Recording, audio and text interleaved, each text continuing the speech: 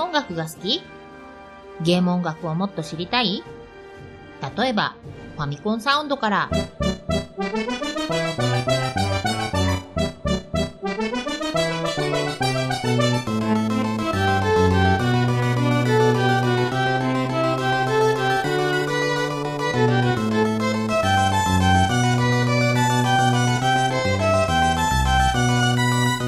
オーケストラアレンジまで。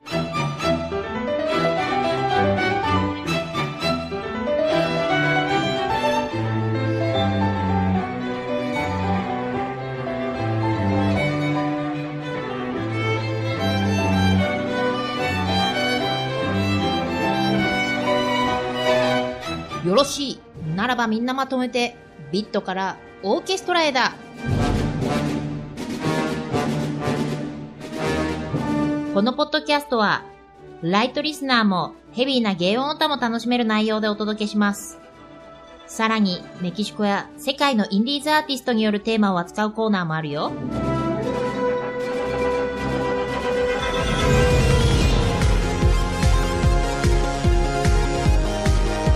ゲーオタの、ゲーオタによる、ゲーオタのためのゲーム音楽ポッドキャスト、ビットからオーケストラへ、今から30分、お聞き逃しなく。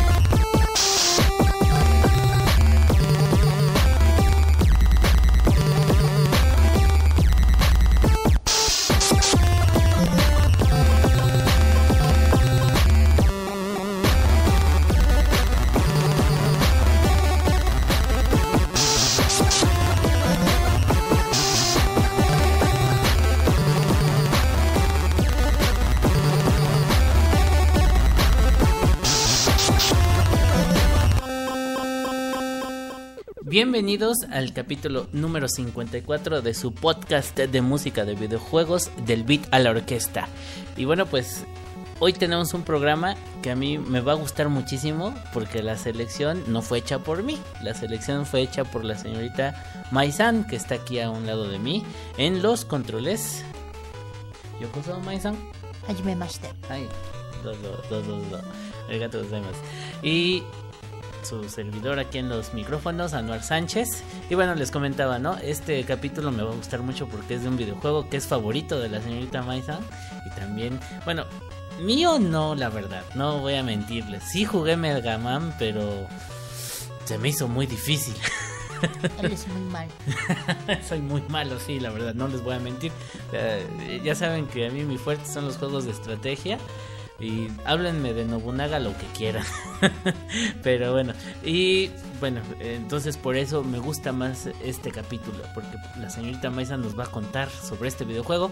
Y también, antes de empezar, pues les recordamos que lo que tuvimos de obertura y como lo tenemos en casi cada podcast es el tema de nuestros amigos de colectivo Chipotle de su compilado Quatl Chip Folk número 1 que pues es un compilado de varios artistas que conforman el colectivo haciendo una, una mezcla interesante entre música chiptune y música folclórica mexicana. Y lo que tuvimos en la obertura fue el tema Nopilche por el chiptuner Emet, que hay ahí ya nos hemos encontrado. De, él es de la Ciudad de México y pues tiene muy trabajos muy interesantes. Se los recomiendo. Recuerden ir a la página de Colectivo Chipotle www.colectivochipotle.org o bien en su Facebook Colectivo Chipotle. Y bueno, y ahora sí, el tema que vamos a abordar el capítulo de hoy pues es sobre un videojuego muy querido por todos aquí en México y por los coleccionistas en general los juegos de NES de Mega Man se cotizan muy alto. Entonces, este, no sé cuál sea la magia del videojuego. Eh, al menos musicalmente, yo sí tengo dos que tres cositas que no he escuchado que alguien lo reseñe, que son muy interesantes en, la estructura de la música de Mega Man. Pero en sí, en el videojuego, ahí sí estoy perdido. Por eso aquí tenemos a la señorita Maison, que es una experta en Mega Man. Y bueno, este el grupo que vamos a hacer la reseña es un grupo muy famoso ya, reciente también, que se llama... The Megas. The Megas. Entonces vamos a escuchar el primer este tema porque es bastante lo que vamos a poner hoy.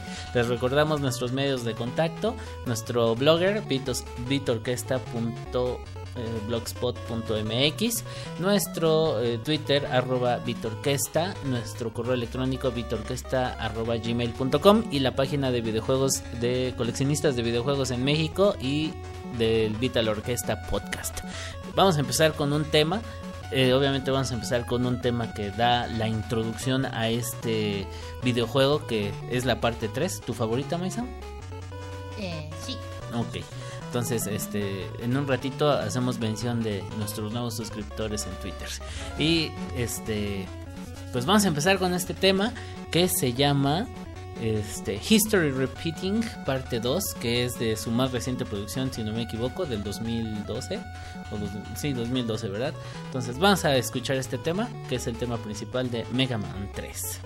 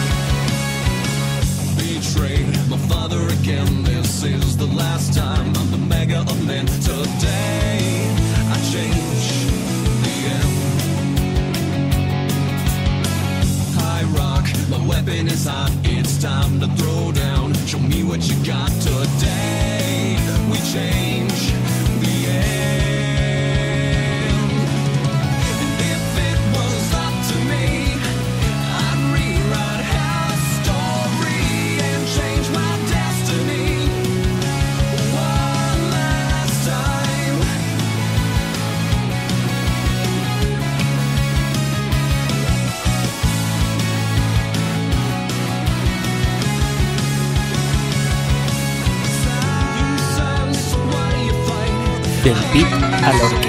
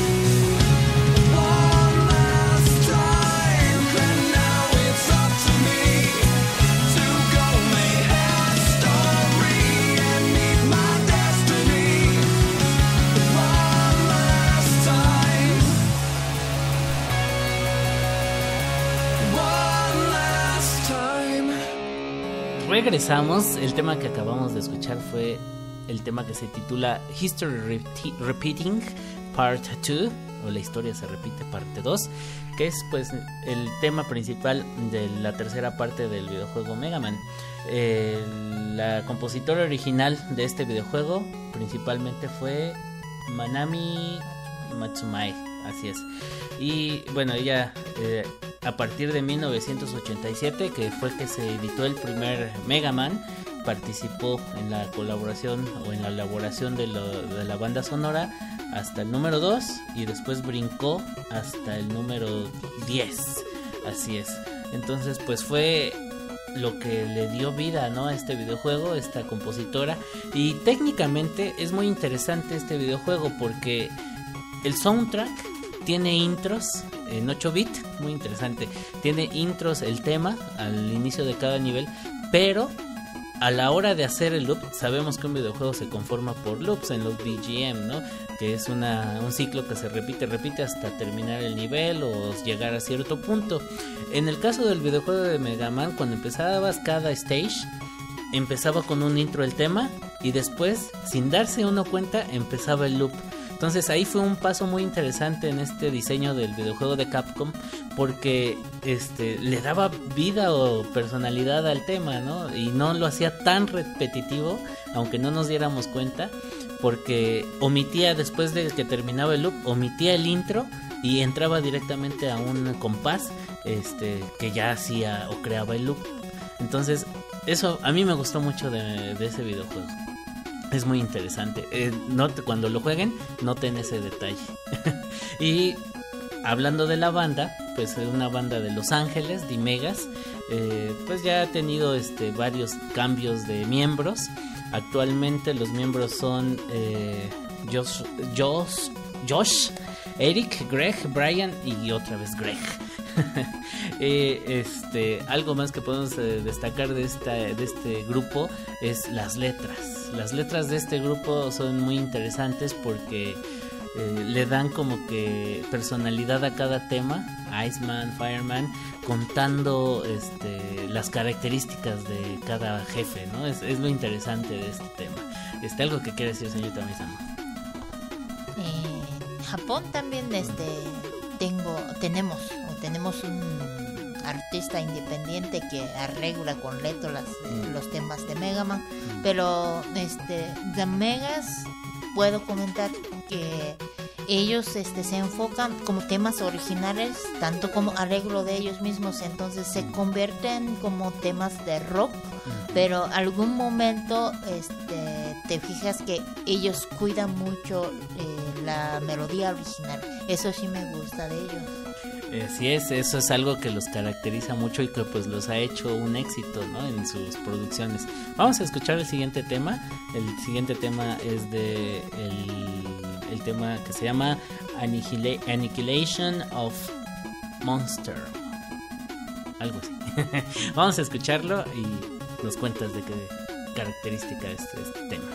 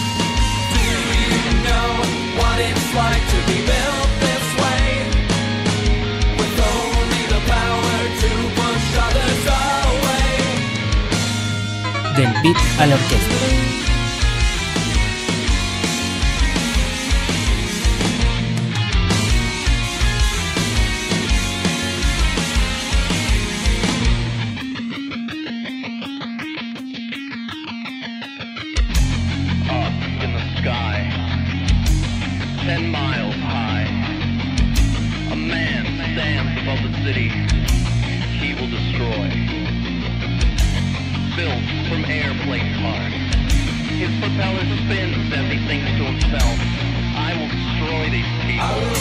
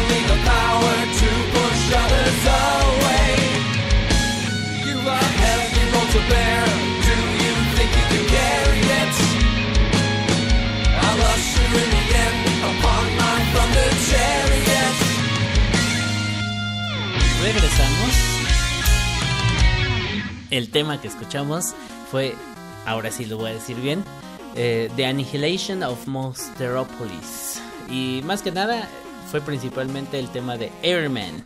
Antes de pasarle el micrófono a la señorita Maizan, me gustaría hacer este pues un poquito la reseña, ya que pues el género de Dimegas, obviamente musicalmente hablando, eh, entra en lo que es el rock.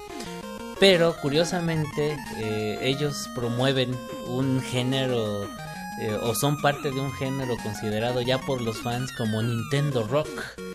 Curiosamente, ¿no? Hay, bueno, sabemos que subgéneros ya hay muchísimos, no solamente en música de videojuegos, en general hay infinidad de subgéneros, unos sacados de la manga, otros así que, que el indie rock, etcétera, etcétera. Bueno, para nosotros los músicos no hay tanta variedad.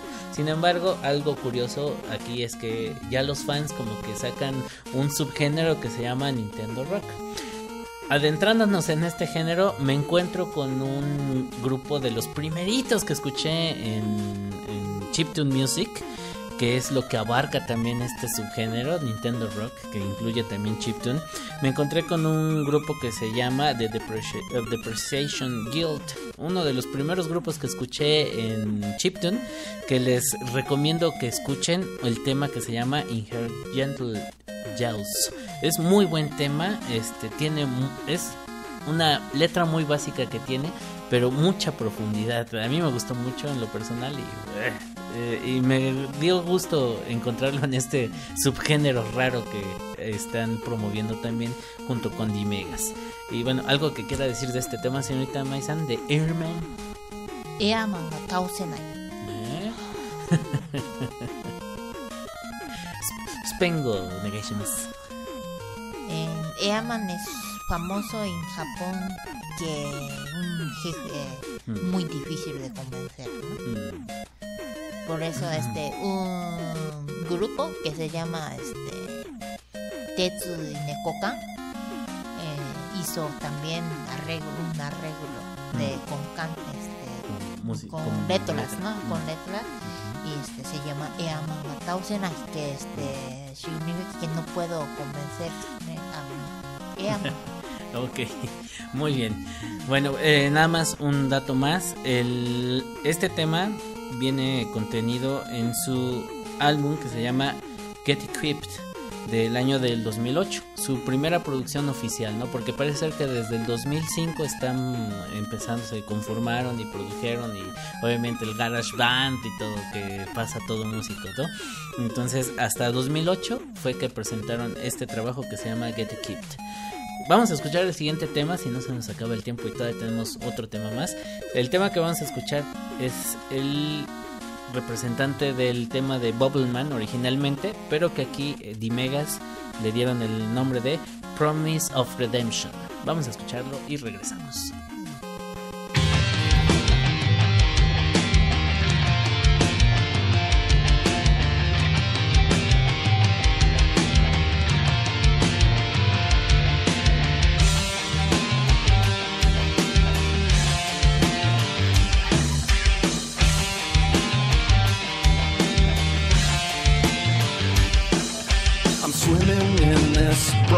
Ocean. I'm drowning in the darkest emotion. They call me useless, they call me weak. They call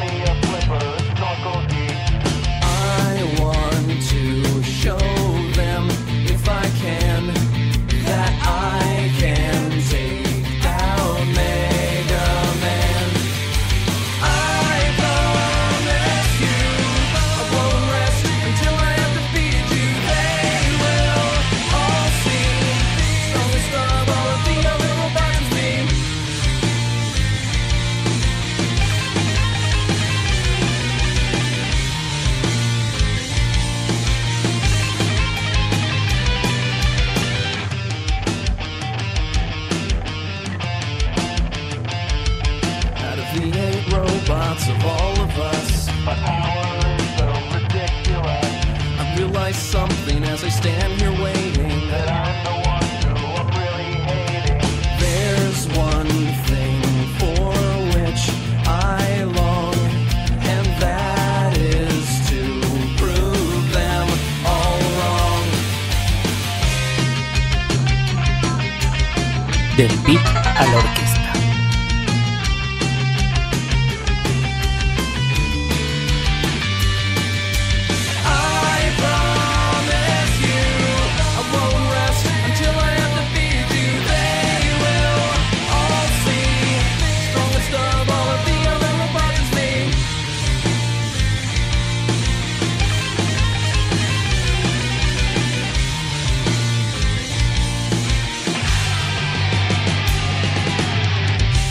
Fight strong, I'll swim fast, I'll live on, you won't last.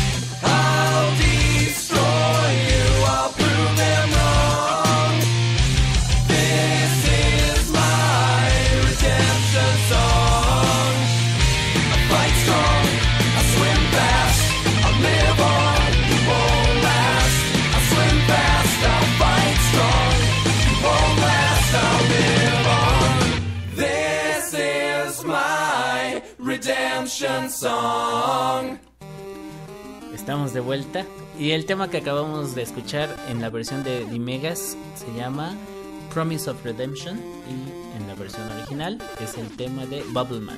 Y pues ya dos últimas preguntas para terminar este capítulo del podcast, señorita Maizan. Al principio del podcast dije que pues es una selección tuya de tus temas favoritos. Pero las dos preguntas, ¿por qué te gusta Mega Man o por qué es uno de tus videojuegos favoritos y que más te atrapa? ¿Y cuál es tu tema favorito de todos?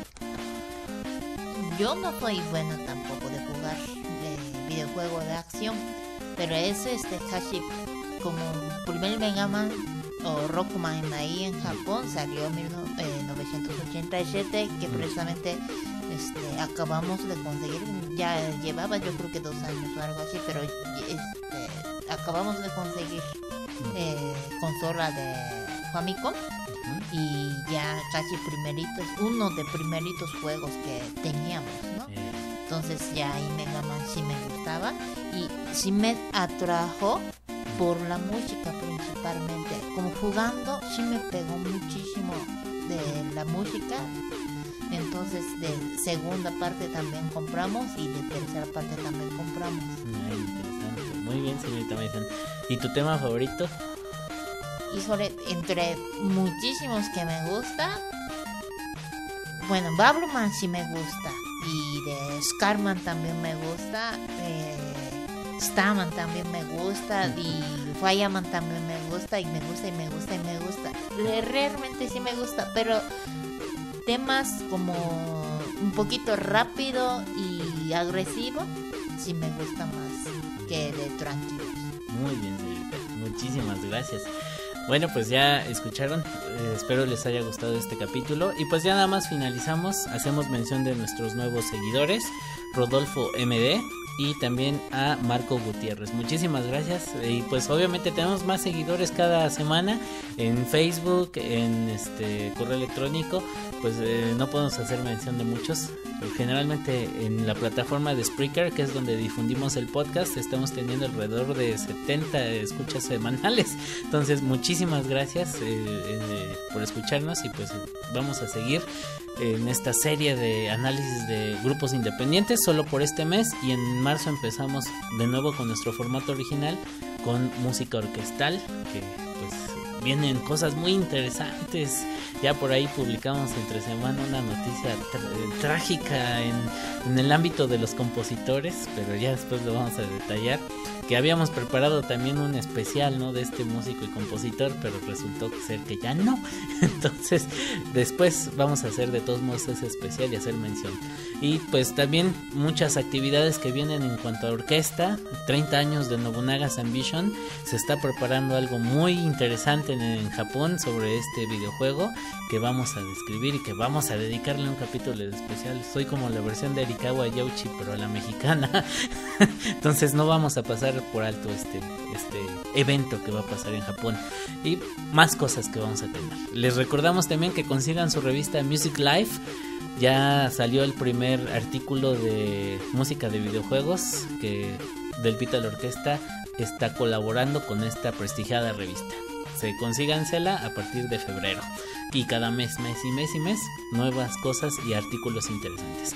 Y bueno, pues nos despedimos. Muchísimas gracias. Les recordamos nuestro Twitter, arroba Vitorquesta, nuestro blog, vitorquesta.blogspot.mx y Facebook del Vitor Orquesta Podcast y la página de coleccionistas de videojuegos en México. Muchas gracias. Nos vemos la próxima. Bye bye. Bye bye.